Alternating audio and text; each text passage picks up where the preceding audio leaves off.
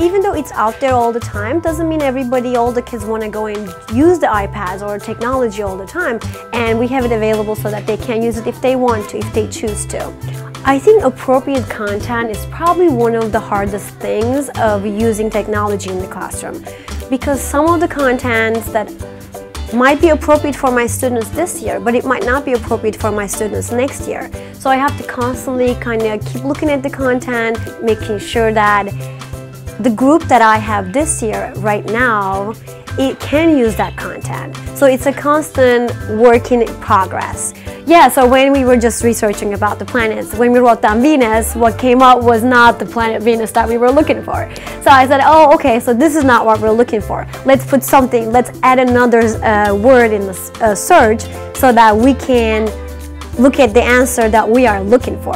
So I feel like I'm right there with them when they're researching. I'm right next to them. I can be keeping track of it without even them knowing. I don't want to be there saying, oh, you know, I want to look at everything. I want to make sure that what you're pressing is the right thing.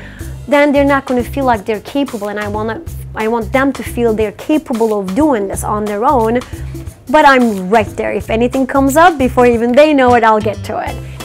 There's so many other ways that we can use technology and I can't see why we should just take that away from the kids just because Sometimes in some cases teachers don't know how to use it. We have so much stigma around technology and how it can be used or what it does to the students.